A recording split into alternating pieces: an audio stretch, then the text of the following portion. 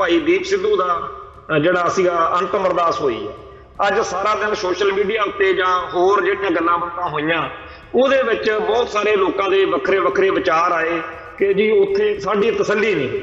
ਬਹੁਤ ਸਾਰੇ ਲੋਕਾਂ ਨੇ ਕਿਹਾ ਸਹੀ ਦਾ ਬੜੇ ਨਿਰਾਸ਼ ਆ। ਕੁਝ ਲੋਕਾਂ ਨੇ ਕਿਹਾ, ਉੱਥੇ ਖਾਲਿਸਤਾਨ ਦੀ ਗੱਲ ਨਹੀਂ ਹੋਈ ਕਿਸੇ ਨੇ ਕਿਹਾ ਜੀ, ਉੱਥੇ ਪੰਥਕ ਤੌਰ ਦੇ ਉੱਤੇ ਕੌਮੀ ਜਜ਼ਬਾਤਾਂ ਨਾਲ ਭਰਿਆ ਹੋਏ ਜਿਹੜੇ ਸਿੱਖ ਸੀਗੇ, ਉਹ ਕੋਈ ਪ੍ਰੋਗਰਾਮ ਲੈਣ ਗਏ ਸੀਗੇ। ਉਹ ਕੋਈ ਆਸ ਕਰਕੇ ਗਏ ਸੀ, ਪਰ ਗੱਲ ਬਣੀ। ਨਾ ਤਾਂ ਇਹ ਜਿਹੜਾ ਫਤਿਹਗੜ੍ਹ ਸਾਹਿਬ ਵਾਲਾ ਦੀਵਾਨ ਟੋਡਰ ਵੱਲ ਹਾਲ ਆ, ਨਾ ਤਾਂ ਇਹ ਅੰਮ੍ਰਿਤਸਰ ਦੀਵਾਨ ਅਸਥਾਨ ਮੰਜੀ ਸਾਹਿਬ ਆ, ਜਿੱਥੇ ਧਰਮ ਯੁੱਧ ਮੋਰਚੇ ਦੌਰਾਨ ਸੰਤ ਭਿੰਡਰਾਂ ਵਾਲੇ ਜਿਹੜੇ ਆ, ਜੇ ਜਾਂ ਸਾਡੇ ਹੋਰ ਕੌਮੀ ਬੁਲਾਰੇ ਜਿਹੜੇ ਨੇ, ਉਹ ਜਿਹੜੇ ਨੇਗੇ ਚੜ੍ਹਦੀ ਕਲਾ ਵਾਲੇ ਪ੍ਰੋਗਰਾਮ ਦੇਖ ਕੇ ਸਿੱਖ ਜਵਾਨੀ ਨੂੰ ਕੋਈ ਸੇਧ ਦੇ ਰਹੇ ਸੀਗੇ। ਨਿਰਾਸ਼ਾ ਜਿਹੜੀ ਜਦੋਂ ਲੋਕ ਕਹਿੰਦੇ ਆ ਤੇ ਮੈਨੂੰ ਬਾਕੀਆਂ ਨਾਲੋਂ ਇਹ ਚੀਜ਼ ਜਿਹੜੀ ਹੈਗੀ ਆ ਵਧੀਆ ਲੱਗਦੀ ਆ ਪਿਆਰੀ ਲੱਗਦੀ ਆ। ਮੈਂ ਚਾਹੁੰਦਾ ਇਹ ਨਿਰਾਸ਼ਾ ਹੋਰ ਵਧੇ ਤੇ ਅੰਤ ਇਹ ਨਿਰਾਸ਼ਾ ਜਿਹੜੀ ਹੈਗੀ ਆ ਉਸ ਚੀਜ਼ ਨੂੰ ਉਸ ਸਿਖਰ ਨੂੰ ਕ੍ਰਾਸ ਕਰ ਜਾਵੇ ਜਿਹੜੀ ਸਾਨੂੰ ਸਾਡੀ ਕੌਮ ਨੂੰ ਅਜੇ ਤੱਕ ਰੋਕੀ ਬੈਠੀ ਆ ਕੁਝ ਕਰ ਗੁਜ਼ਰਨ।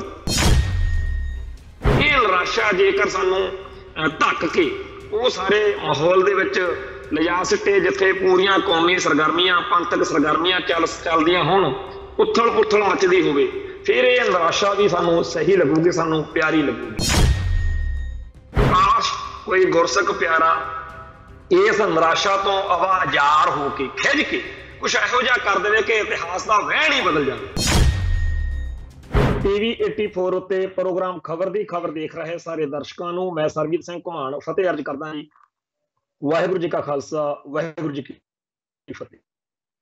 ਅਸੀਂ ਸਰਬੱਤ ਦਾ ਭਲਾ ਮੰਗਣ ਵਾਲੀ ਕੌਮ ਆ ਤੇ ਇਸ ਵੇਲੇ ਤੀਜੀ ਸੰਸਾਰ ਜੰਗ ਦੀਆਂ ਕਨਸੂਆਂ, ਖਦਸ਼ੇ ਜਿਹੜੇ ਨੇ, ਉਹਨਾਂ ਦੇ ਮੱਦੇ ਨਜ਼ਰ ਅਸੀਂ ਉਸ ਅਕਾਲ ਪੁਰਖ ਵਾਹਿਗੁਰੂ ਦੇ ਚਰਨਾਂ ਵਿੱਚ ਅਰਦਾਸ ਬੇਨਤੀ ਕਰਦੇ ਹਾਂ ਕਿ ਇਹ ਜਿਹੜਾ ਮਾਹੌਲ ਬਣਿਆ ਹੋਇਆ, ਇਹ ਜਲਦੀ ਤੋਂ ਜਲਦੀ ਆਮ ਹੋਵੇ ਨਾਰਮਲੇਸੀ ਆਵੇ ਤੇ ਸਾਰੇ ਮੁਲਕ, ਸਾਰੀ ਦੁਨੀਆ ਸੁੱਖ ਸ਼ਾਂਤੀ ਨਾਲ ਵਸੇ।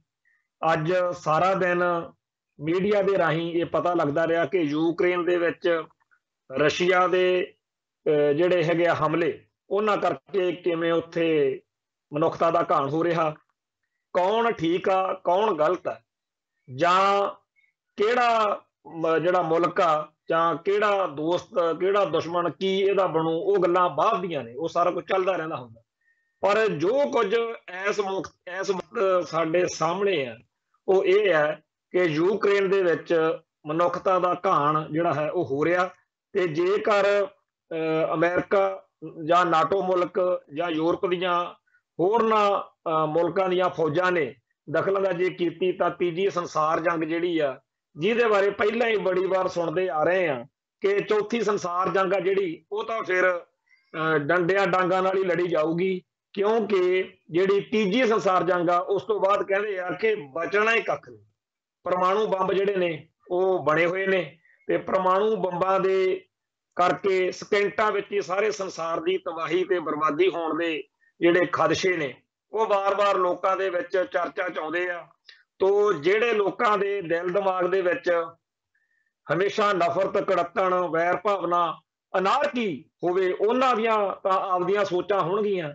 ਪਰ ਅਸੀਂ ਜਿਹੜੇ ਗੁਰੂ ਅਹ, ਨੂੰ ਮੰਨਣ ਵਾਲੇ ਸਿੱਖ ਹਾਂ ਜੋ ਰੱਬ ਦੀ ਭੈ ਭਾਵਨੀ ਵਾਲੇ ਆ ਅਸੀਂ ਤਾਂ ਸਭ ਦੀ ਸੁੱਖ ਮੰਗਣ ਵਾਲੇ ਲੋਕ ਆ ਸੋ ਅਸੀਂ ਚਾਹੁੰਦੇ ਆ ਕਿ ਹਰੇਕ ਮਨੁੱਖ ਨੂੰ ਆਪਦੇ ਹੱਕ ਵੀ ਮਿਲਣ ਚੜ੍ਹਦੀ ਕਲਾ ਨਾਲ ਆਜ਼ਾਦੀ ਨਾਲ ਜੀਵੇ ਵੀ ਤੇ ਨਾਲ ਦੀ ਨਾਲ ਇਹ ਵੀ ਆ ਕਿ ਸੁੱਖ ਸ਼ਾਂਤੀ ਤੇ ਖੁਸ਼ਹਾਲੀ ਜਿਹੜੀ ਆ ਉਹ ਜ਼ਰੂਰ ਹੋਣੀ ਚਾਹੀਦੀ ਹੈ। ਖੈਰ ਅੱਜ ਜਿੱਥੇ ਅਸੀਂ ਇਸ ਅੰਤਰਰਾਸ਼ਟਰੀ ਪੱਧਰ ਦੀ ਜਿਹੜੀ ਚਰਚਾ ਇਹਨੂੰ ਇੱਥੇ ਰੋਕਦੇ ਆ ਕਿਉਂਕਿ ਅਜੇ ਗੱਲ ਜਿਹੜੀ ਹੈ, ਇਸ ਪੱਖ ਤੋਂ ਕੋਈ ਬਹੁਤੀ ਜ਼ਿਆਦਾ ਸਹੀ ਸੂਚਨਾ ਕਿਉਂਕਿ ਦੱਸਦੇ ਆ ਕਿ ਮੀਡੀਆ ਦਾ ਯੁੱਗ ਆ, ਸੱਚ ਨੂੰ ਝੂਠ ਅਤੇ ਝੂਠ ਨੂੰ ਸੱਚ ਮੀਡੀਆ ਰਾਹੀਂ ਜਿਹੜਾ ਹੈਗਾ ਬਣਾ ਕੇ ਗੱਲ ਕੁਛ ਦੀ ਕੁਛ ਹੋਰ ਬਣਾ ਦਿੱਤੀ ਜਾਂਦੀ ਹੈ।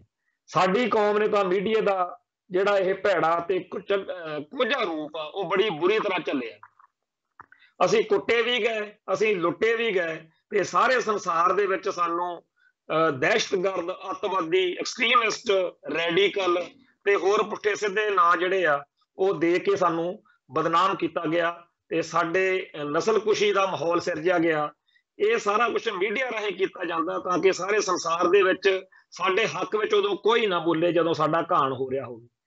ਇਸ ਮੌਕੇ ਸਾਰੇ ਜਿਹੜਾ ਹੈਗਾ ਸੰਸਾਰ ਦੇ ਵਿੱਚ ਅੱਡ-ਅੱਡ ਮੁਲਕਾਂ 'ਚ, ਅੱਡ-ਅੱਡ ਲੋਕਾਂ ਦੇ ਵਿੱਚ ਸਾਡੀ ਕੌਮ ਜਿਹੜੀ ਆ ਉਹਦੇ ਬਹੁਤ ਸਾਰੇ ਹਿੱਸੇ ਜਿਹੜੇ ਨੇ ਅੱਡ-ਅੱਡ ਮੁਲਕਾਂ 'ਚ ਗਏ ਹੋਏ ਨੇ ਤੋਂ ਯੂਕਰੇਨ ਦੇ ਵਿੱਚ ਵੀ ਸਾਡੇ ਬੰਦੇ ਫਸੇ ਨੇ, ਰੂਸ ਦੇ ਸ਼ਹਿਰਾਂ 'ਚ ਵੀ ਵਸਦੇ ਨੇ, ਹੋਰਨਾਂ ਮੁਲਕਾਂ 'ਚ ਵੀ ਵਸਦੇ ਆ।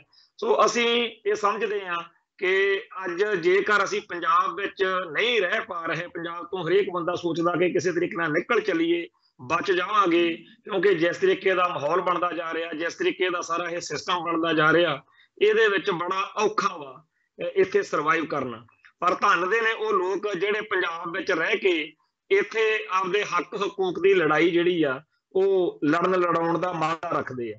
ਤੇ ਪੰਜਾਬ ਦੀ ਧਰਤੀ ਬਾਰੇ ਤਾਂ ਆਪਾਂ ਅਕਸਰ ਪਹਿਲੇ ਦਿਨ ਤੋਂ ਹੀ ਕਿ ਪੰਜਾਬ ਦੇ ਜੰਮਿਆਂ ਨੂੰ ਨਿਤ ਮਹਿਮਾ ਤੇ ਇੱਥੇ ਪੀੜ੍ਹੀ ਦਰ ਪੀੜ੍ਹੀ ਜਿਹੜੀ ਹੈਗੀ ਆ, ਜੰਗ, ਉਹ ਜਾਰੀ ਆ। ਹੱਕ ਸੱਚ ਦੀ, ਇਨਸਾਫ ਦੀ ਲੜਾਈ ਜਿਹੜੀ ਆ, ਉਹ ਲੜਨ ਵਾਲੇ ਜਿਹੜੇ ਆ, ਉਹ ਚਿਹਰੇ ਮੂਹਰੇ ਜਾਂ ਪੀੜ੍ਹੀਆਂ ਬਦਲਦੀਆਂ ਰਹਿੰਦੀਆਂ ਨੇਗੀਆਂ, ਪਰ ਜੰਗ ਜਿਹੜੀ ਆ, ਉਹ ਸਦਾ ਚੱਲਦੀ ਰਹਿੰਦੀ ਹੈ ਅੱਜ ਜਦੋਂ ਕਿ ਕੱਲ ਭਾਈ ਦੀਪ ਸਿੱਧੂ ਦਾ ਜਿਹੜਾ ਸੀਗਾ, ਅੰਤਮ ਅਰਦਾਸ ਹੋਈ ਹੈ। ਅੱਜ ਸਾਰਾ ਦਿਨ ਸੋਸ਼ਲ ਮੀਡੀਆ ਉੱਤੇ ਜਾਂ ਹੋਰ ਜਿਹੜੀਆਂ ਗੱਲਾਂ ਬਾਤਾਂ ਹੋਈਆਂ, ਉਹਦੇ ਵਿੱਚ ਬਹੁਤ ਸਾਰੇ ਲੋਕਾਂ ਦੇ ਵੱਖਰੇ ਵੱਖਰੇ ਵਿਚਾਰ ਆਏ ਕਿ ਜੀ ਉੱਥੇ ਸਾਡੀ ਤਸੱਲੀ ਨਹੀਂ ਹੋਈ। ਬਹੁਤ ਸਾਰੇ ਲੋਕਾਂ ਨੇ ਕਿਹਾ ਸਹੀ ਦਾ ਬੜੇ ਨਿਰਾਸ਼ ਆ ਕੁਝ ਲੋਕਾਂ ਨੇ ਕਿਹਾ, ਉੱਥੇ ਖਾਲਿਸਤਾਨ ਦੀ ਗੱਲ ਨਹੀਂ ਹੋਈ। ਕਿਸੇ ਨੇ ਕਿਹਾ, ਜੀ ਉੱਥੇ ਪੰਥਕ ਤੌਰ ਦੇ ਉੱਤੇ ਕੌਮੀ ਜਜ਼ਬਾਤਾਂ ਨਾਲ ਭਰਿਆ ਹੋਏ ਜਿਹੜੇ ਸਿੱਖ ਸੀਗੇ, ਉਹ ਕੋਈ ਪ੍ਰੋਗਰਾਮ ਲੈਣ ਗਏ ਸੀਗੇ। ਉਹ ਕੋਈ ਆਸ ਕਰਕੇ ਗਏ ਸੀ, ਪਰ ਗੱਲ ਬਣੀ। ਮੈਂ ਇਹ ਸਾਰੇ ਕਾਸੇ ਦੇ ਉੱਤੇ ਬਹੁਤ 네ਗੇਟਿਵਿਟੀ ਬਹੁਤ ਕ੍ਰੋਧ ਨਾਲ, ਰੋਹ ਨਾਲ, ਕਲਖੀ ਨਾਲ ਭਰੇ ਹੋਏ ਜਿਹੜੇ ਲੋਕ ਨੇ, ਉਹਨਾਂ ਦੇ ਜਿਹੜੇ ਬਚਨ ਨੇ, ਬੋਲ ਨੇ, ਉਹ ਦੇਖ ਰਿਹਾ ਸੀ। ਤੇ ਮੇਰੇ ਮਨ ਵਿੱਚ ਇਹ ਆ ਰਿਹਾ ਸੀਗਾ ਕਿ ਪਹਿਲੀ ਗੱਲ ਤਾਂ ਇਹ ਇੱਕ ਜਿਹੜਾ ਸੀਗਾ ਪਰਿਵਾਰਕ ਤੌਰ ਦੇ ਉੱਤੇ ਇੱਕ ਇਹੋ ਜਿਹੀ ਸ਼ਖਸੀਅਤ ਦਾ, ਅੰਤਮ ਅਰਦਾਸ ਦਾ ਪ੍ਰੋਗਰਾਮ ਸੀਗਾ ਜਿਹੜੀ ਪਿਛਲੇ 2 ਸਾਲ ਤੋਂ ਪੰਥਕ ਸਫਾਂ 'ਚ ਜਾਂ ਕੌਮੀ ਸਿਆਸਤ ਵਿੱਚ ਜਾਂ ਸਿੱਖ ਹੱਕਾਂ ਦੀ ਲੜਾਈ ਲੜਨ ਵਾਲੇ ਇਹ ਸਾਡੇ ਸਮਾਜ ਦੇ ਵਿੱਚ ਕੁੰਬਰੀ ਹੋਈ ਹੈ ਜੀ ਹਸਤੀ ਦਾ ਅੰਤਮ ਅਰਦਾਸ ਦਾ ਪ੍ਰੋਗਰਾਮ ਸੀਗਾ, ਜਿਹਦੇ ਵਿੱਚ ਇਹ ਆਸ ਕਰਨੀ ਕਿ ਉੱਥੇ ਬਹੁਤ ਵੱਡੇ ਪੱਧਰ ਦੇ ਉੱਤੇ ਖਾਲਿਸਤਾਨ ਜਿੰਦਾਬਾਦ ਤੇ ਹੋਰ ਹੋਊਗਾ, ਇਹ ਆਸ ਕੀਤੀ ਤਾਂ ਜਾ ਸਕਦੀ ਆ, ਪਰ ਹੋਣਾ ਜਾਂ ਨਹੀਂ ਹੋਣਾ, ਉਹ ਪ੍ਰੋਗਰਾਮ ਦੇ ਵਿੱਚ ਪਰਿਵਾਰ ਦਾ ਜਾਂ ਪ੍ਰਬੰਧਕਾਂ ਦਾ ਬਹੁਤ ਜਿਹੜਾ ਹੈਗਾ ਉਹਦੇ ਚ ਸੋਚ ਵਿਚਾਰ ਕੇ ਗੱਲ ਉਹਨਾਂ ਨੇ ਕਰ ਰਹੇ ਮੈਂ ਇਹ ਕਹਿਣਾ ਚਾਹੁੰਦਾ ਕਿ ਨਾ ਤਾਂ ਇਹ ਜਿਹੜਾ ਫਤਿਹਗੜ੍ਹ ਸਾਹਿਬ ਵਾਲਾ ਦੀਵਾਨ ਟੋਡਰਮੱਲ ਹਾਲ ਆ, ਨਾ ਤਾਂ ਇਹ ਅੰਮ੍ਰਿਤਸਰ ਦੀਵਾਨ ਅਸਥਾਨ ਮੰਜੀ ਸਾਹਿਬ ਆ, ਜਿੱਥੇ ਧਰਮ ਜੋਧ ਮੋਰਚੇ ਦੌਰਾਨ ਸੰਤ ਭਿੰਡਰਾਂ ਵਾਲੇ ਜਿਹੜੇ ਆ, ਜੇ ਜਾਂ ਸਾਡੇ ਹੋਰ ਕੌਮੀ ਬੁਲਾਰੇ ਜਿਹੜੇ ਨੇ, ਉਹ ਜਿਹੜੇ ਨੇਗੇ ਚੜ੍ਹਦੀ ਕਲਾ ਵਾਲੇ ਪ੍ਰੋਗਰਾਮ ਦੇ ਕੇ ਸਿੱਖ ਜਵਾਨੀ ਨੂੰ ਕੋਈ ਸੇਧ ਦੇ ਰਹੇ ਸੀਗੇ। ਨਾ ਹੀ ਇਹ ਜਿਹੜਾ ਪ੍ਰੋਗਰਾਮ ਸੀਗਾ ਕੋਈ ਇਹੋ ਜਿਹਾ ਮੋਰਚਾ ਲੱਗਿਆ ਹੋਇਆ ਸੀ, ਇਹ ਤਾਂ ਇੱਕ ਪਰਿਵਾਰਕ ਭੋਗ ਦਾ ਸਮਾਗਮ ਸੀ ਨਾ। ਤੋ ਇੱਥੇ ਨਾ ਕੋਈ ਸੰਤ ਭਿੰਡਰਾਂ ਵਾਲਿਆਂ ਵਰਗੀ ਹਸਤੀ ਸੀ। ਇੱਥੇ ਤਾਂ ਸਾਰੀ ਗੱਲਬਾਤ ਉਵੇਂ ਹੋਣੀ ਸੀ ਜਿਵੇਂ ਉਸ ਪਰਿਵਾਰ ਨੇ ਸੋਚਿਆ ਹੋਇਆ ਸੀਗਾ। ਪਰ ਲੋਕਾਂ 'ਚ ਬੜਾ ਰੋਹ ਹੈ ਜੀ, ਬੜਾ ਗੁੱਸਾ, ਬੜੀ, ਬੜਾ ਔਖੇ ਬਣਿਆ ਬੜਾ ਸੰਤਾਪ ਆ। ਤੇ ਇਹ ਜਿਹੜਾ ਸਾਰਾ ਮਾਹੌਲ ਆ, ਇਹਦੇ ਵਿੱਚ ਵਾਰ ਵਾਰ ਇਹ ਗੱਲ ਆ ਰਹੀ ਆ ਕਿ ਬੜੀ ਨਿਰਾਸ਼ਾ ਹੋਈ ਹੈ ਜੀ। ਨਿਰਾਸ਼ਾ ਜਿਹੜੀ ਜਦੋਂ ਲੋਕ ਕਹਿੰਦੇ ਆ ਮੈਨੂੰ ਬਾਕੀਆਂ ਨਾਲੋਂ ਇਹ ਚੀਜ਼ ਜਿਹੜੀ ਹੈਗੀ ਆ ਵਧੀਆ ਲੱਗਦੀ ਆ, ਪਿਆਰੀ ਲੱਗਦੀ ਆ। ਮੈਂ ਚਾਹੁੰਦਾ ਇਹ ਨਿਰਾਸ਼ਾ ਹੋਰ ਵਧੇ ਤੇ ਅੰਤ ਇਹ ਨਿਰਾਸ਼ਾ ਜਿਹੜੀ ਹੈਗੀ ਆ, ਉਸ ਚੀਜ਼ ਨੂੰ, ਉਸ ਸਿਖਰ ਨੂੰ ਕ੍ਰਾਸ ਕਰ ਜਾਵੇ, ਜਿਹੜੀ ਸਾਨੂੰ, ਸਾਡੀ ਕੌਮ ਨੂੰ ਅਜੇ ਤੱਕ ਰੋਕੀ ਬੈਠੀ ਆ ਕੁਝ ਕਰ ਗੁਜ਼ਰਨ। ਕੁਝ ਹੋਵੇ ਤਾਂ ਸਹੀ ਨਾ। ਤੇ ਸਿਰਫ ਨਿਰਾਸ਼ਾ ਹੈ, ਨਿਰਾਸ਼ ਹੋ ਰਹੇ ਆ, ਇਸ ਗੱਲ ਨਾਲ ਗੱਲ ਨਹੀਂ ਬਣਦੀ। ਜੇ ਨਿਰਾਸ਼ਾ ਕਿਸੇ ਪਲ ਕਿਸੇ ਤਰੀਕੇ ਨਾਲ ਸਾਨੂੰ ਉਸ ਪਾਸੇ ਧੱਕ ਕੇ ਲੈ ਜਾਵੇ ਕਿ ਇਤਿਹਾਸ ਵਿੱਚ ਆਈ ਹੋਈ ਖੜੋਤ ਟੁੱਟ ਜਾਵੇ। ਸਿੱਖ ਸੰਘਰਸ਼ ਵਿੱਚ ਜੋ ਇੱਕ ਤਰੀਕੇ ਨਾਲ ਲੱਗਦਾ ਕਿ ਜੀ ਉਹ ਜੀ ਗੱਲ ਨਹੀਂ ਰਹੀ, ਉਹ ਜੀ ਤਾਜ਼ਗੀ ਨਹੀਂ ਰਹੀ, ਉਹ ਜੀ ਤੇਜ਼ੀ ਨਹੀਂ ਰਹੀ, ਉਹ ਜੀ ਸਰਗਰਮੀ ਨਹੀਂ ਰਹੀ, ਇਹ ਨਿਰਾਸ਼ਾ ਜੇਕਰ ਸਾਨੂੰ ਧੱਕ ਕੇ ਉਹ ਸਾਰੇ ਮਾਹੌਲ ਦੇ ਵਿੱਚ ਲਿਜਾ ਸਿੱਟੇ, ਜਿੱਥੇ ਪੂਰੀਆਂ ਕੌਮੀ ਸਰਗਰਮੀਆਂ, ਪੰਥਕ ਸਰਗਰਮੀਆਂ ਚੱਲ ਚੱਲਦੀਆਂ ਹੋਣ ਉਥਲ ਪੁਥਲ ਮੱਚਦੀ ਹੋਵੇ ਫਿਰ ਇਹ ਨਿਰਾਸ਼ਾ ਵੀ ਸਾਨੂੰ ਸਹੀ ਲੱਗੂਗੀ, ਸਾਨੂੰ ਪਿਆਰੀ ਲੱਗੂਗੀ। ਕਾਸ਼ ਕੋਈ ਗੁਰਸਖ ਪਿਆਰਾ ਇਸ ਨਿਰਾਸ਼ਾ ਤੋਂ ਆਵਾਜ਼ਾਰ ਹੋ ਕੇ ਖਿੱਚ ਕੇ ਕੁਝ ਇਹੋ ਜਿਹਾ ਕਰ ਦੇਵੇ ਕਿ ਇਤਿਹਾਸ ਦਾ ਵਹਿਣ ਹੀ ਬਦਲ ਜਾਵੇ। ਫਿਰ ਇਹ ਨਿਰਾਸ਼ਾ ਜਿਹੜੀ ਆ, ਜੇ ਸਾਨੂੰ ਆਸ ਬੁਝਾਉਂਦੀ ਹੋਊਗੀ, ਫਿਰ ਸਾਨੂੰ ਪ੍ਰਵਾਨ ਹੋ ਪਰ ਲੱਗਦਾ, ਹਜੇ ਨਿਰਾਸ਼ਾ ਦਾ ਜਿਹੜਾ ਸਿਖਰ ਆ, ਉਹ ਨਹੀਂ ਹੋਇਆ। ਪਰ ਕੁਝ ਨਾ ਕੁਝ ਵਾਪਰੇਗਾ ਜ਼ਰੂਰ। ਜਿਸ ਤਰੀਕੇ ਨਾਲ ਇਸ ਪ੍ਰੋਗਰਾਮ ਤੋਂ ਬਾਅਦ ਵਿੱਚ ਸਿੱਖ ਸਫਾਂ ਦੇ ਵਿੱਚ ਉਤਲ ਉਤਲ ਪੁਤਲ ਜੀ ਮਚ ਰਹੀ ਆ। ਜਿਸ ਤਰੀਕੇ ਨਾਲ ਨਵੇਂ ਸਮੀਕਰਨ ਬਣਦੇ ਦਿਖ ਰਹੇ ਨੇ, ਬਦਲਾਅ ਦਿਖ ਰਿਹਾ। ਤਬਦੀਲੀ ਦਾ ਅਹਿਸਾਸ ਹੋ ਰਿਹਾ। ਖਾਸ ਤੌਰ ਤੇ 15 ਤੋਂ 25 30 ਸਾਲ ਦੇ ਵਿਚਾਲੇ ਜਿਹੜੀ ਸਾਡੀ ਸਿੱਖ ਪਨੀਰੀ ਆ, ਉਹ ਪੁਰਾਣੀ ਪੀੜ੍ਹੀ ਤੋਂ ਪੁਰਾਣੇ ਪਹਿਲੀ ਉਮਰ ਦੇ ਗੁਰਸਿੱਖ ਪਿਆਰਿਆਂ ਤੋਂ ਬੜੇ ਔਖੇ ਔਖੇ ਜੇ ਨੇ। ਵੀ ਇਹ ਆ ਨਹੀਂ ਕਰਦੇ, ਇਹ ਉਹ ਨਹੀਂ ਕਰਦੇ, ਕੋਈ ਪ੍ਰੋਗਰਾਮ ਨਹੀਂ ਕਰਦੇ ਤੇ ਇਹ ਉਹਨਾਂ ਨੂੰ ਗੁਲਾਮੀ ਦਾ ਅਹਿਸਾਸ ਆ ਜਿਹੜਾ ਨਾ, ਉਹ ਟਿਕਣ ਨਹੀਂ ਦੇ ਰਿਹਾ, ਸੰਤਾਪ ਦੇ ਰਿਹਾ। ਉਹਨਾਂ ਦੇ ਅੰਦਰ ਰੋਹ ਦੇ ਭਾਂਬੜ ਮਚ ਰਹੇ। ਦੀਪ ਸਿੱਧੂ ਦੇ ਭੋਗ ਅਤੇ ਇਸ ਸਮੁੱਚੇ ਵਰਤਾਰੇ ਨੇ ਉਹਨਾਂ ਦੇ ਅੰਦਰ ਇੱਕ ਲਾਂਬੂ ਜਿਹਾ ਲਾ ਦਿੱਤਾ। ਇਹ ਉਵੇਂ ਦਾ ਮਾਹੌਲ ਆ, ਜਿਵੇਂ ਜੂਨ 1984 ਤੇ ਨਵੰਬਰ 1984 ਦੇ ਘੱਲੂ ਘਾਰਿਆਂ ਤੋਂ ਬਾਅਦ ਸੀ। ਉਦੋਂ ਵੀ ਸਿੱਖ ਜਵਾਨੀ ਨੇ ਇਹੀ ਕਿਹਾ ਸੀ ਕਿ ਸਾਨੂੰ ਇਹ ਮਨਜ਼ੂਰ ਨਹੀਂ। ਇਸ ਤਰੀਕੇ ਨਾਲ ਬੇਗੈਰਤਾ ਵਾਲੀ ਜ਼ਿੰਦਗੀ ਜਿਉਣੀ ਸਾਨੂੰ ਪ੍ਰਵਾਨ ਨਹੀਂ। ਤੋਂ ਗੁਲਾਮੀ ਦਾ ਅਹਿਸਾਸ ਜਿਹੜਾ ਸੀਗਾ, ਜਿਹੜਾ ਉਸ ਮੌਕੇ ਸਿੱਖ ਜਵਾਨੀ ਨੂੰ ਟੰਬ ਰਿਹਾ ਸੀਗਾ, ਅੱਜ ਵੀ ਉਵੇਂ ਹੀ ਆ ਤੇ ਅੱਜ ਦੀ ਸਿੱਖ ਜਵਾਨੀ ਜਲਦੀ, ਤੁਰੰਤ, ਫੌਰਨ, ਤੁਰਤ ਫੁਰਤ ਨਤੀਜੇ ਜਿਹੜੀ ਹੈਗੀ ਆ, ਉਹ ਕੱਢਣ ਲਈ ਕੁਝ ਕਾਰ ਗੁਜ਼ਰਨ ਦੇ ਵਾਲੇ ਪਾਸੇ ਨੂੰ ਜਾਂਦੀ ਸਾਨੂੰ ਮਹਿਸੂਸ ਹੁੰਦੀ ਹੈ ਸੋ ਸਿੱਖ ਜਵਾਨੀ ਦਾ ਇਸ ਤਰੀਕੇ ਨਾਲ ਆਪਦੇ ਕੌਮੀ ਸੰਘਰਸ਼ ਨਾਲ, ਕੌਮੀ ਹਿੱਤਾਂ ਵੱਲ ਮੁੜਨਾ ਬਹੁਤ ਹੀ ਜ਼ਿਆਦਾ ਵੈਲਕਮ ਕਰਨ ਵਾਲਾ ਇਸ ਮਾਹੌਲ ਨੂੰ ਜੀ ਆਇਆਂ ਕਹਿਣਾ ਚਾਹੀਦਾ।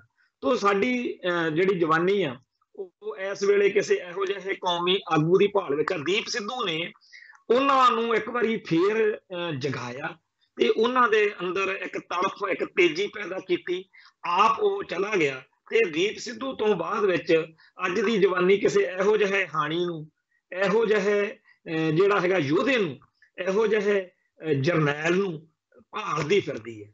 ਜਿਵੇਂ ਕੋਈ ਪਿਆਸਾ ਜਿਹੜਾ ਹੈਗਾ ਨਾ, ਉਹ ਪਾਣੀ ਦੀ ਪਿਆਸ ਵਿੱਚ ਮਾਰੂਥਲ ਦੇ ਵਿੱਚ ਇੱਧਰ ਉੱਧਰ ਭੱਜਿਆ ਫਿਰਦਾ ਹੋਵੇ ਤੇ ਵਾਹ ਕੋਈ ਚੱਲਦੀ ਨਾ ਹੋਵੇ, ਬੇਵੱਸੀ ਦਿਖਦੀ ਹੋਵੇ, ਲਾਚਾਰੀ ਦਿਖਦੀ ਹੋਵੇ, ਉਵੇਂ ਅੱਜ ਦੀ ਸਿੱਖ ਜਵਾਨੀ ਆ ਜਿਹੜੀ, ਅੱਜ ਦੀ ਜਿਹੜੀ ਨਵੀਂ ਪੀੜ੍ਹੀ ਆ, ਉਹ ਬਹੁਤ ਤੇਜ਼ੀ ਨਾਲ ਕਿਸੇ ਪਾਸੇ ਨੂੰ, ਕਿਸੇ ਮੰਜ਼ਰ ਵੱਲ ਨੂੰ ਤੁਰ ਪੈਣ ਲਈ ਕਾਹਲੀ ਆ। ਉਹਦੀ ਕਾਹਲੀ ਉੱਤੇ ਕਈਆਂ ਨੂੰ ਇਤਰਾਜ਼ ਵੀ ਹੋ ਸਕਦਾ। ਪਰ ਜਿਹੜਾ ਖਲਾਅ ਪੈਦਾ ਹੋ ਚੁੱਕਿਆ, ਫਰਜ਼ਾਂ ਲਈ ਲੜਨ ਤੇ ਕੌਮ ਲਈ ਮਰਨ ਦਾ, ਸੀਸ ਤਲੀ ਤੇ ਧਰਨ ਦਾ ਜਿਹੜਾ ਚਾਹ ਵੱਜਦੀ ਜਵਾਨੀ, ਉਹ ਖਲਾਫ ਚਾਲੇ ਪੈਦਾ ਹੋ ਚੁੱਕਿਆ ਲੀਡਰਸ਼ਿਪ ਕਿਤੇ ਦਿਖਦੀ ਨਹੀਂ। ਅੱਜ ਦੀ ਸਿੱਖ ਸਫਾਂ ਦੀ, ਪੰਥਕ ਸਫਾਂ ਦੀ, ਖਾਲਸਤਾਨੀਆਂ ਦੀ ਸਮੁੱਚੀ ਲੀਡਰਸ਼ਿਪ ਜਿਹੜੀ ਆ, ਉਹਦੇ ਤੋਂ ਅੱਜ ਦੀ ਸਿੱਖ ਜਵਾਨੀ ਨੂੰ ਤਸੱਲੀ ਨਹੀਂ ਹੈ। ਉਹਨਾਂ ਨੂੰ ਮਾਨਸਿਕ ਤੌਰ ਦੇ ਉੱਤੇ ਕੜਾ ਵਿੱਚ ਲੈ ਕੇ ਕਿਸੇ ਵੱਡੇ ਨਿਸ਼ਾਨੇ ਵੱਲ ਤੋਰ ਲੈਣ ਵਾਲੀ ਕੋਈ ਜਿਹੜੀ ਸ਼ਖਸੀਅਤ ਆ, ਉਹ ਨਹੀਂ ਦਿਖ ਰਹੀ।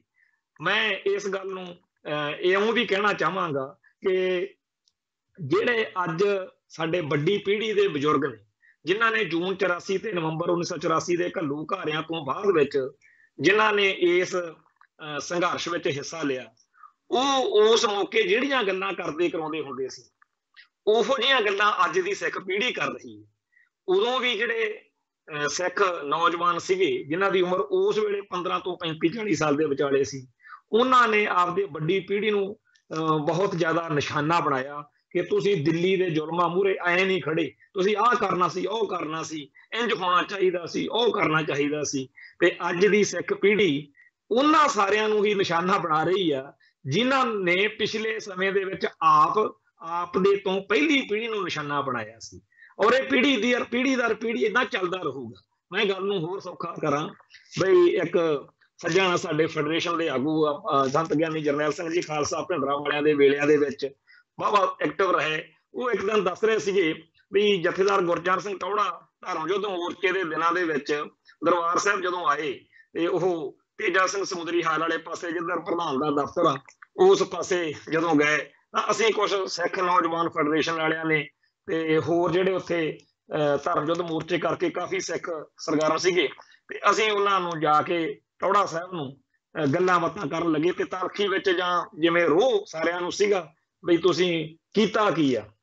ਅਕਾਲੀ ਲੀਡਰਸ਼ਿਪ ਨੇ ਆ ਨਹੀਂ ਕੀਤਾ, ਉਹ ਨਹੀਂ ਕੀਤਾ, ਕਾਫੀ ਗੱਲਾਂ ਜਿਹੜੀਆਂ ਸੀਗੀਆਂ ਤਲਖੀ ਵਿੱਚ ਕੀਤੀਆਂ ਤੇ ਉਹ ਕਰਾਰੀਆਂ ਗੱਲਾਂ ਸੁਣ ਕੇ ਟੋੜਾ ਸਾਹਿਬ ਕਹਿੰਦੇ ਬੈਠੋ, ਕੋਈ ਗੱਲ ਨਹੀਂ, ਗੱਲ ਕਰਦੇ ਉਹ ਸਾਰੇ ਜਿਹੜੇ ਨੌਜਵਾਨ ਸੀਗੇ, ਉਹਨਾਂ ਨੂੰ ਟਿਕਾ ਕੇ ਕਿਹਾ ਵੀ ਹਾਂ, ਹੁਣ ਗੱਲ ਕਰੋ। ਤੋਂ ਸਾਰੀ ਗੱਲਬਾਤ ਉਹਨਾਂ ਨੇ ਫੇਰ ਕੀਤੀ ਵੀ ਤੁਸੀਂ ਅਕਾਲੀ ਲੀਡਰਸ਼ਿਪ ਨੇ ਸਾਨੂੰ ਬਾਰ-ਬਾਰ ਜਿਹੜਾ ਹੈਗਾ ਵਿਵਤਾ ਚ ਤਾਂ ਪਾਇਆ। ਪੰਥ ਖਤਰੇ ਵਿੱਚ ਹੈ। ਇਹ ਦਿਖਾਈ ਦੇ ਕੇ ਤੁਸੀਂ ਸਰਕਾਰਾਂ ਤਾਂ ਬਣਾ ਲੈਂਦੇ ਹੋ, ਪਰ ਤੁਸੀਂ ਕੋਈ ਗੱਲ ਨਹੀਂ ਸਿਰੇ ਲਾਉਂਦੇ।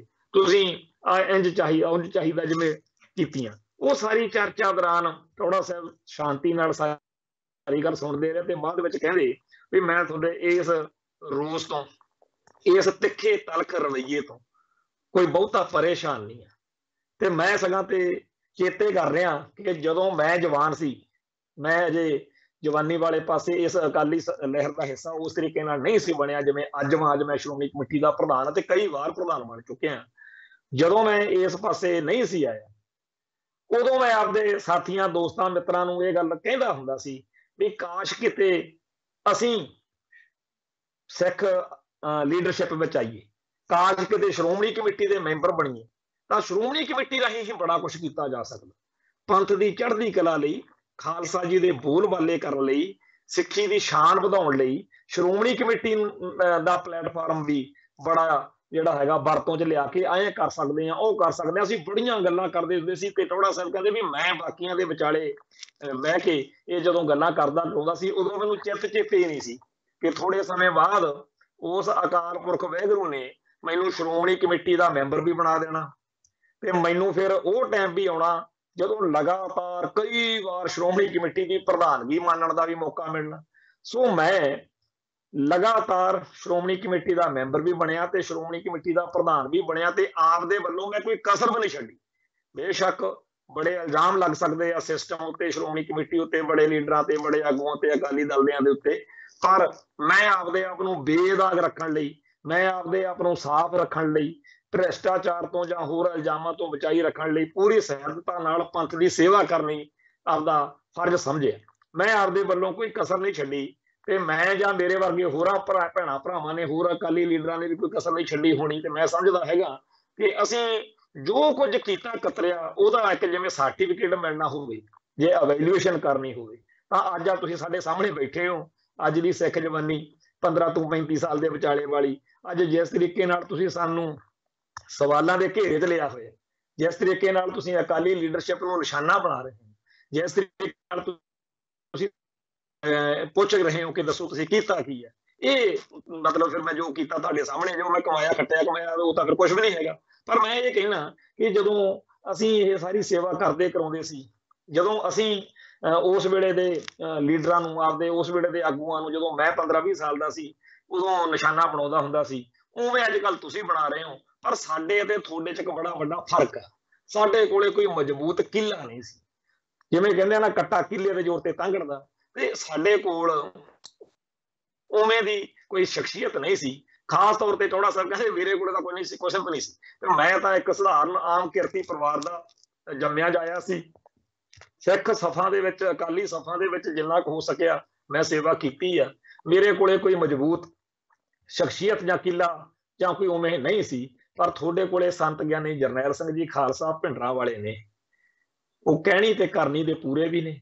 ਉਹ ਦਮਦਮੀ ਟਕਸਾਲ ਵਰਗੀ ਇੱਕ ਸਾਡੀ ਚੋਟੀ ਦੀ ਸਿੱਖ ਸੰਸਥਾ ਜਿਹਨੂੰ ਅਸੀਂ ਚੱਲਦੀ ਫਿਰਦੀ ਯੂਨੀਵਰਸਿਟੀ ਕਹਿੰਦੇ ਉਹਦੇ ਉਹ ਜਿਹੜੇ ਨੇ ਮੁਖੀ ਨੇ ਤੇ ਬਾਣੀ ਤੇ ਬਾਣੇ ਵਾਲੇ ਨੇ, ਉਹਨਾਂ ਦੇ ਮਗਰ ਇਤਿਹਾਸ ਵੀ ਖੜਾ ਤੋਂ ਇਹੋ ਜਿਹੀ ਸ਼ਖਸੀਅਤ ਦੇ ਸੰਗ ਸਾਥ ਤੁਸੀਂ ਅੱਜ ਦੀ ਜਵਾਨੀ ਜਿਹੜੀ ਆ, ਜਿਸ ਤਰੀਕੇ ਨਾਲ ਸਰਗਰਮ ਤੇ ਮੈਨੂੰ ਇਹ ਜਿਹੜਾ ਹੈਗਾ ਕਹਿਣਾ ਚੰਗਾ ਲੱਗਦਾ ਕਿ ਕਾਸ਼ ਜਿਹੜੇ ਬੋਲਬਾਲੇ ਕਰਨ ਜਾਂ ਸਿੱਖੀ ਦੀ ਸ਼ਾਨ ਵਧਾਉਣ ਚ ਜਾਂ ਜਿਹੜੇ ਨਿਸ਼ਾਨੇ ਅਸੀਂ ਸੋਚਦੇ ਰਹੇ ਆ ਸਾਤੋਂ ਪੂਰੇ ਨਹੀਂ ਹੋਏ, ਉਹ ਤੁਸੀਂ ਜਿਹੜੇ ਸੰਤ ਭਿੰਡਰਾਂ ਵਾਲਿਆਂ ਦੇ ਨਾਲ ਫੈਡਰੇਸ਼ਨ ਵਾਲੇ ਜਾਂ ਹੋਰ ਨੌਜਵਾਨ ਰਲ ਕੇ ਸੇਵਾ ਕਰ ਰਹੇ ਹੋ, ਕਾਸ਼ ਥੋੜਿਆਂ ਵੇਲਿਆਂ 'ਚ ਉਹ ਚੀਜ਼ ਬਣ ਜਾਵੇ। ਮੈਨੂੰ ਬੜੀ ਖੁਸ਼ੀ ਹੋਊਗੀ ਥੋੜਾ ਸਾਹਿਬ ਕਹਿੰਦੇ ਵੀ ਜੇਕਰ ਸੰਤ ਭਿੰਡਰਾਂ ਵਾਲਿਆਂ ਤੇ ਫੈਡਰੇਸ਼ਨ ਦੇ ਸਰਗਰਮੀਆਂ ਕਰਕੇ ਆਪਾਂ ਕੁਝ ਲੈ ਬੈਠੀਏ ਕੁਝ ਬਣ ਜਾਵੇ।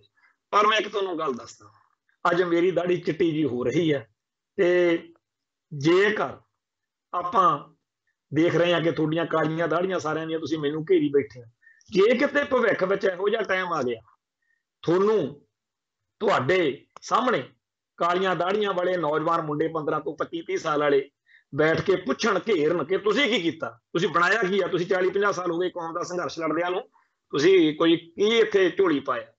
ਤਾਂ ਮੈਨੂੰ ਲੱਗਦਾ ਕਿ ਮੈਂ ਤਾਂ, ਸਾਡੇ ਤਾਂ ਫੇਰ ਅਜੇ ਇੰਨੇ ਕ ਹੈਗੇ ਆ ਕਿ ਅਸੀਂ ਤੁਹਾਡੀ ਗੱਲ ਸੁਣਦੇ ਹਾਂ ਅੱਜ ਦੀ ਜਵਾਨੀ ਦੀ ਘਾ ਝਾਲ ਝੱਲੀ ਨਹੀਂ ਜਾਣੀ।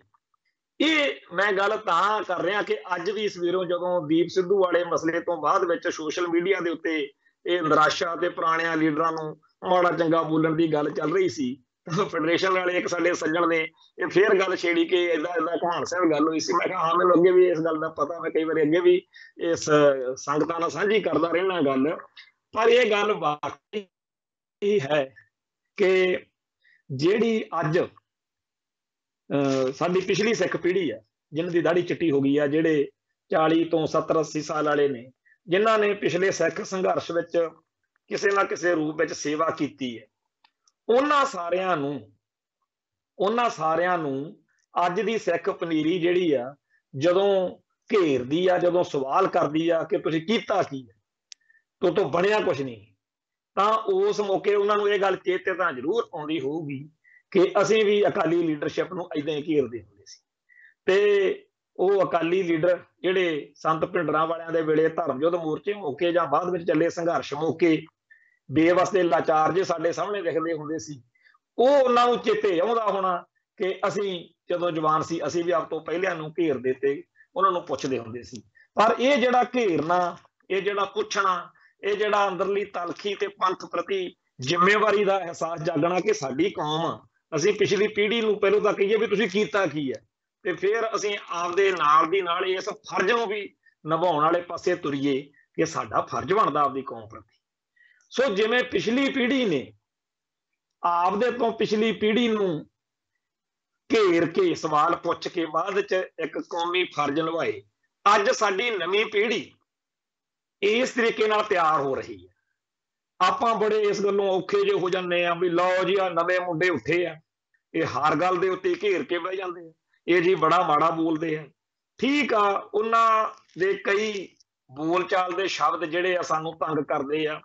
ਤਹਿਜ਼ੀਬ ਜਿਹੜੀ ਆ, ਉਹਦਾ ਖਿਆਲ ਰੱਖਣਾ ਚਾਹੀਦਾ। ਮੈਂ ਵੀ ਇਸ ਪ੍ਰੋਗਰਾਮ ਦੇ ਵਿੱਚ, ਖਬਰ ਦੀ ਖਬਰ ਪ੍ਰੋਗਰਾਮ ਦੇ ਵਿੱਚ ਜਾਂ ਹੋਰ ਨਾ ਪਲੇਟਫਾਰਮਾਂ ਤੋਂ ਨੌਜਵਾਨਾਂ ਨੂੰ ਇਸ ਗੱਲ ਲਈ ਪ੍ਰੇਰਣਾ ਦਿੰਦਾ ਰਹਿਣਾ ਕਿ ਸਵਾਲ ਕਰਨੇ ਕੌਮ ਦੀ ਲੀਡਰਸ਼ਿਪ ਨੂੰ ਤੁਹਾਡਾ ਹੱਕ ਹੈ ਪਰ ਤਹਿਜ਼ੀਬ ਦਾ ਪੱਲਾ ਨਾ ਛੱਡਿਆ ਕਰੋ। ਪਰ ਜਿਹੜੀ ਨਵੀਂ ਪੀੜ੍ਹੀ ਹੈ, ਇਸ ਵੇਲੇ ਮੈਦਾਨ ਮੱਲ ਚੁੱਕੀ ਹੈ, ਉਹਦੇ ਅੰਦਰ ਜਿਹੜੀ ਬੇਚੈਨੀ ਆ, ਜਿਹੜਾ ਰੋਹ ਆ, ਜਿਹੜਾ ਗੁੱਸਾ, ਉਹ ਇੱਕ ਜਵਾਰ ਭਾਟੇ ਵਾਂਗੂ ਫਟਣ ਨੂੰ ਤਿਆਰ ਬੈਠੀ ਹੈ ਜਿਹੜੀ ਜਵਾਨੀ। ਉਹਦੇ ਅੰਦਰਲਾ ਜਿਹੜਾ ਬਾਗੀਪੁਣਾ ਉਹ, ਉਹਨੂੰ ਇੰਨਾ ਰੋਹ ਨਾ ਭਰ ਦਿੰਦਾ, ਔਰ ਇਹ ਹਰ ਜਵਾਨੀ ਦੀ ਇੱਕ ਸਮੱਸਿਆ ਹੁੰਦੀ ਆ, ਕਿਉਂਕਿ ਜਵਾਨੀ ਜਿਹੜੀ ਆ, ਉਹ ਚੁਸਤੀਆਂ ਚਲਾਕੀਆਂ, ਠੱਗੀਆਂ ਹੇਰਾ ਫੇਰੀਆਂ ਤੋਂ ਨਿਰਲੇਪ ਹੁੰਦੀ ਉਹਦੇ ਅੰਦਰ ਪਾਕ ਪਵਿੱਤਰ ਜਜ਼ਬੇ ਹੁੰਦੇ ਤੇ ਉਹਦੀਆਂ ਭਾਵਨਾਵਾਂ, ਜਜ਼ਬਾਤਾਂ ਦਾ ਇੱਕ ਦਰਿਆ ਅੰਦਰ ਉਹਦੇ ਵਗ ਰਿਹਾ ਹੁੰਦਾ। ਤੋਂ ਜਿਹੜੀ ਸਟੇਟ ਆ, ਉਹ ਆਪਦੇ ਟੂਲ ਵਰਤਦੀ ਆ, ਆਪਦੇ ਹਥਿਆਰ ਵਰਤਦੀ ਆ ਤੇ ਆਪਦੀਆਂ ਜਿਹੜੀਆਂ ਚੁਸਤੀਆਂ ਚਲਾਕੀਆਂ ਨੇ, ਉਹਦੇ ਨਾਲ ਉਹ ਇਸ ਬਾਗੀ ਭਾਵਨਾ ਨੂੰ, ਇਸ ਬਗਾਵਤ ਨੂੰ ਕੰਟਰੋਲ ਕਰਨ ਲਈ, ਕਾਬੂ ਕਰਨ ਲਈ, ਯਤਨਸ਼ੀਲ ਹੁੰਦੀ ਆ।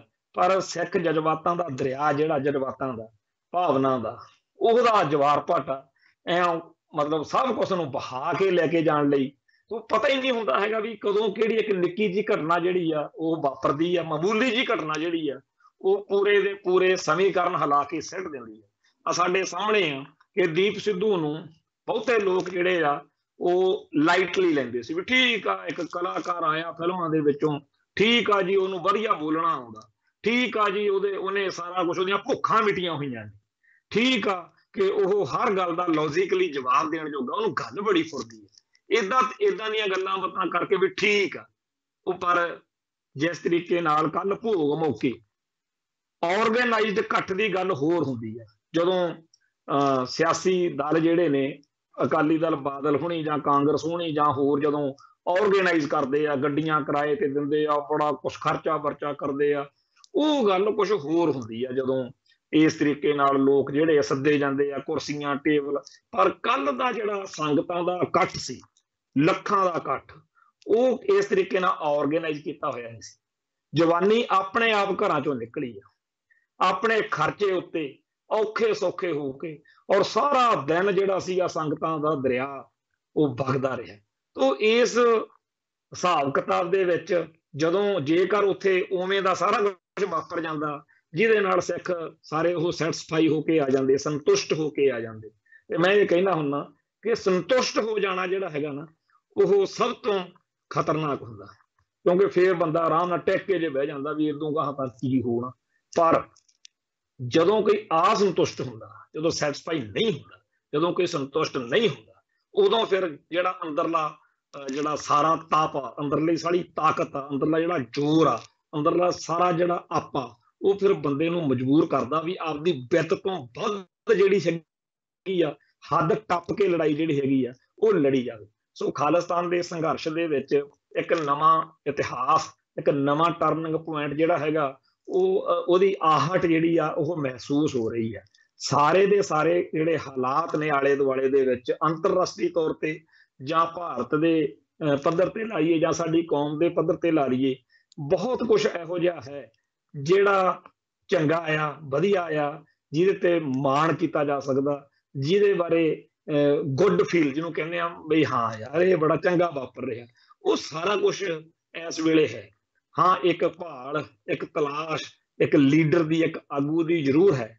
ਪਰ ਅਸੀਂ ਜਾਣਦੇ ਹਾਂ ਕਿ 1984 ਦੇ ਦਰਬਾਰ ਸਾਹਿਬ ਦੇ ਹਮਲੇ ਤੇ ਜਿਹੜਾ ਨਵੰਬਰ 84 ਦਾ ਨਸਲਕੁਸ਼ੀ ਆ ਸਾਡਾ, ਉਸ ਤੋਂ ਬਾਅਦ ਵਿੱਚ ਜਿਹੜੇ ਆਮ ਜੇ ਨੌਜਵਾਨ ਸੀ, ਜਿਹੜੇ ਕੋਈ ਟਰੱਕ ਡਰਾਈਵਰ ਸੀ, ਕੋਈ ਪੜਦਾ ਸੀ, ਕੋਈ ਖੇਤੀ ਕਰਦਾ ਸੀ, ਉਹ ਘਰਾਂ ਚੋਂ ਨਿਕਲੇ ਤੇ ਉਹਨਾਂ ਨੇ ਉਸ ਸੰਘਰਸ਼ ਦੀ ਕਾਮਯਾਬੀ ਨਾਲ ਅਗਵਾਈ ਕਰਕੇ ਦਿਖਾਈ, ਜਿਸ ਸੰਘਰਸ਼ ਦਾ ਨਿਸ਼ਾਨਾ ਸੀ ਖਾਲਿਸਤਾਨ, ਜਿਹੜੇ ਸੰਘਰਸ਼ ਦੇ ਵਿੱਚ ਆਏ ਹੋਏ ਸਾਰੇ ਲੋਕ ਇੱਕੋ ਗੱਲ ਜਾਣਦੇ ਸੀ ਕਿ ਸੰਤ ਭੰਡਰਾਂ ਵਾਲਿਆਂ ਨੇ ਕਿਹਾ ਕਿ ਜੇ ਦਰਬਾਰ ਸਾਹਿਬ ਤੇ ਹਮਲਾ ਹੋ ਗਿਆ ਤਾਂ ਖਾਲਿਸਤਾਨ ਦੀ ਨੀਂਹ ਰੱਖੀ ਜਾਊਗੀ।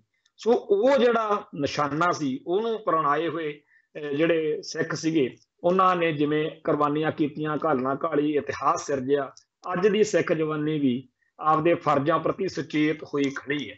ਤੇ ਜਦੋਂ ਇਹ ਨਿਰਾਸ਼ ਨੇ ਜਦੋਂ ਇਹਨਾਂ ਨੂੰ ਲੱਗਦਾ ਕਿ ਸਾਡੇ ਹਿਸਾਬ ਨਾਲ ਪ੍ਰੋਗਰਾਮ ਨਹੀਂ ਦਿੱਤੇ ਜਾ ਰਹੇ, ਤਾਂ ਉਹਦੇ ਉੱਤੇ ਚੀਕਾਂ ਜਿਹਾ ਮਾਰਨ ਦੀ, ਰੋਣ ਧੋਣ ਕਰਨ ਦੀ ਵੀ, ਹਾਏ, ਇਹ ਕੀ ਕਰਦੇ ਆ, ਇਹ ਗੱਲ ਨਹੀਂ।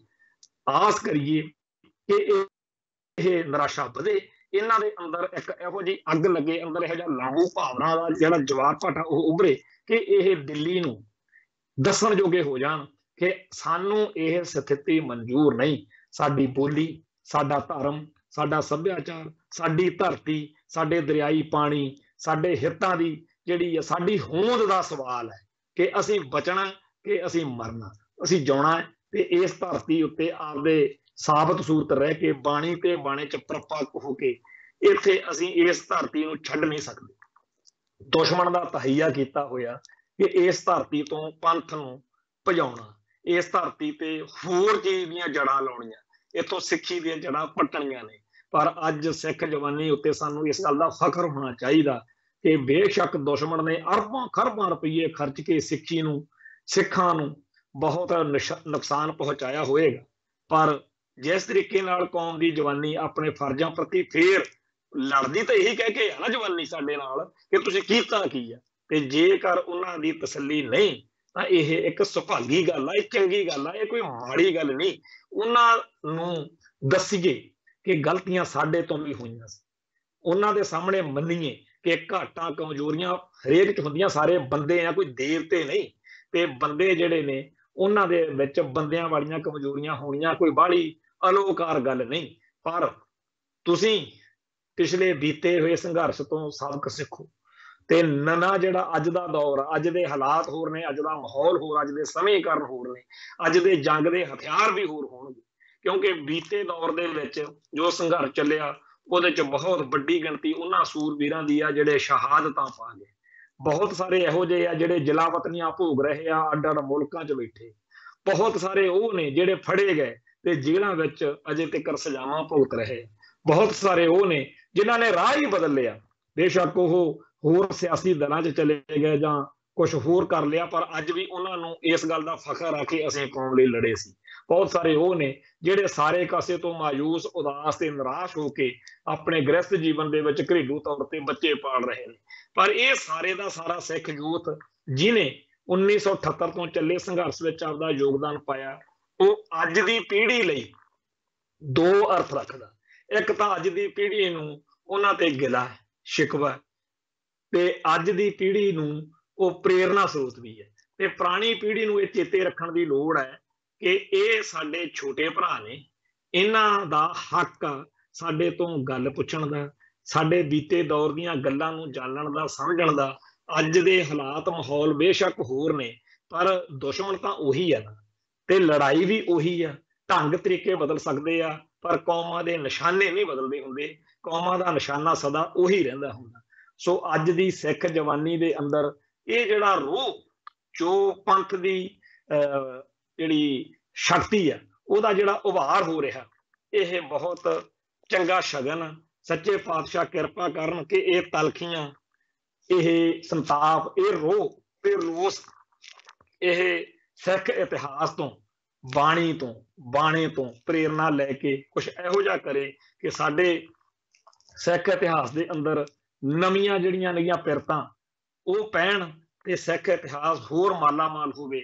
ਜਿਹੜੀ ਮੰਜ਼ਲ ਆ, ਉਹ ਤਾਂ ਉਸ ਅਕਾਲ ਪੁਰਖ ਵਾਹਿਗੁਰੂ ਦੀ ਮਰਜ਼ੀ ਆ। ਉਹ ਗੁਰੂ ਸਾਹਿਬਾਨ ਦੀ ਇੱਛਾ ਆ ਕਿ ਕਦੋਂ ਸਾਡੀ ਝੋਲੀ ਪਾਉਣੀ ਹੈ ਸਾਡਾ ਕੰਮ ਜਿਹੜਾ ਹੈ, ਉਹ ਕਰਮ ਕਰਨਾ ਹੈ। ਅਸੀਂ ਆਪ ਦਾ ਕਰਮ ਕਰੀਏ, ਸਿੱਖ ਹੱਕਾਂ ਦੀ ਲੜਾਈ, ਕੌਮ ਦੇ ਹਿੱਤਾਂ ਦੀ ਲੜਾਈ ਜਿਹੜੀ ਆ, ਉਹ ਜਾਰੀ ਰੱਖੀਏ। ਅੱਜ ਦੀ ਸਿੱਖ ਜਵਾਨੀ ਅੰਦਰ ਆਈ ਹੋਈ ਇਹ ਨਵੀਂ ਜਿਹੜੀ ਚੇਤਨਾ, ਉਹਦੇ ਲਈ ਬਹੁਤ ਸਾਰੇ ਕਾਰਨ ਜ਼ਿੰਮੇਵਾਰ ਨੇ। ਸਿੱਖ ਜਥੇਬੰਦੀਆਂ ਜਿਨ੍ਹਾਂ ਨੇ ਬੀਤੇ ਦੌਰ ਦੇ ਵਿੱਚ ਦਲ ਖਾਲਸਾ, ਭਾਈ ਦਲਜੀਤ ਸਿੰਘ ਬਿੱਟੂ ਵਾਲੀ ਪਾਰਟੀ ਜਾਂ ਭਾਈ ਨਰੈਣ ਸਿੰਘ ਚੌੜਾ ਜਾਂ ਆਪਣਾ ਭਾਈ ਜਿਹੜਾ ਹੈ ਸਰਦਾਰ ਸਿਮਰਜੀਤ ਸਿੰਘ ਮਾਨ ਦਾ ਸ਼੍ਰੋਮਣੀ ਅਕਾਲੀ ਦਲ ਅੰਮ੍ਰਿਤਸਰ, ਹੋਰ ਬੜੇ ਸਾਰੇ ਕਾਰਨ ਬੜੀਆਂ ਘਟਨਾਵਾਂ ਇਹੋ ਜਿਹੀਆਂ ਵਾਪਰੀਆਂ। ਚਾਹੇ ਉਹ ਭਾਈ ਗੁਰਬਖਸ਼ ਸਿੰਘ ਖਾਲਸਾ ਦਾ ਭੁੱਖ ਹੜਤਾਲ ਵਾਲਾ ਮਾਹੌਲ ਹੈ ਚਾਹੇ ਉਹ ਬਾਪੂ ਸੂਰਤ ਸਿੰਘ ਖਾਲਸਾ ਵਾਲੀ ਗੱਲ ਹੈ ਤੇ ਚਾਹੇ ਉਹ ਜਿਹੜਾ ਜਦੋਂ ਸਾਡਾ ਹੱਕ ਫਿਲਮ ਦਾ ਮਸਲਾ ਉੱਠਿਆ ਜਾਂ ਜਿਵੇਂ ਜਿਹੜਾ ਹੈ ਭਾਈ ਬਲਵੰਤ ਸਿੰਘ ਰਾਜੋਆਣਾ ਦੀ ਫਾਂਸੀ ਦਾ ਮਾਮਲਾ ਹੈ ਜਾਂ ਭਾਈ ਜਗਤਾਰ ਸਿੰਘ ਹਵਾਰਾ ਤੇ ਹੋਰ ਸਿੱਖ ਜੁਝਾਰੂਆਂ ਦੀ ਭਾਈ ਪ੍ਰੋਫੈਸਰ ਦਵਿੰਦਰਪਾਲ ਸਿੰਘ ਭੁੱਲਰ ਦੀ ਜਿਹੜੀ ਆ ਫਾਂਸੀ ਦੇ ਖਿਲਾਫ ਮਸਲਾ, ਤੋਂ ਬੜੇ ਅੱਡ-ਅੱਡ ਮੌਕੇ ਬਣਦੇ ਰਹੇ। ਇਹਨਾਂ ਸਾਰਿਆਂ ਮੌਕਿਆਂ ਨੇ, ਇਸ ਮੌਕਿਆਂ ਦੇ ਉੱਤੇ ਪੈਦਾ ਹੋਈ ਲੀਡਰਸ਼ਿਪ ਨੇ, ਉਸ ਦੀਵੇ ਨੂੰ ਜਗਾਈ ਰੱਖਿਆ ਤੇ ਅੱਜ ਉਹ ਰੋਸ਼ਨੀ, ਅੱਜ ਉਹ ਦੀਵਾ, ਅੱਜ ਉਹ ਮਿਸਾਲ ਜਿਹੜੀ ਆ, ਉਹ ਅਗਲੀ ਪੀੜ੍ਹੀ ਦੇ ਹਵਾਲੇ ਹੋਣ ਜਾ ਰਹੀ ਆ। ਸੱਚੇ ਪਾਤਸ਼ਾਹ ਕਿਰਪਾ ਕਰਨ ਕੌਮ ਦੀ ਚੜ੍ਹਦੀ ਕਲਾ ਹੋਵੇ ਤੇ ਨਵੀਂ ਸਿੱਖ ਜਵਾਨੀ, ਨਵੇਂ ਜਿਹੜੇ ਹੈਗੇ ਆ ਇਤਿਹਾਸ ਨੂੰ ਮੋੜਾ ਦੇਵੇ। ਸੋ ਇੰਨੀਆਂ ਬੇਨਤੀਆਂ ਪ੍ਰਵਾਨ ਕਰਨੀਆਂ। ਕੱਲ ਫੇਰ ਮਿਲਾਂਗੇ। ਨਾਨਕ ਨਾਮ, ਚੜ੍ਹਦੀ ਕਲਾ, ਤੇਰੇ ਭਾਣੇ, ਸਰਬੱਤ ਦਾ ਭਲਾ। ਵਾਹਿਗੁਰੂ ਜੀ ਕਾ ਖਾਲਸਾ, ਵਾਹਿਗੁਰੂ ਜੀ ਕੀ ਫਤਿਹ।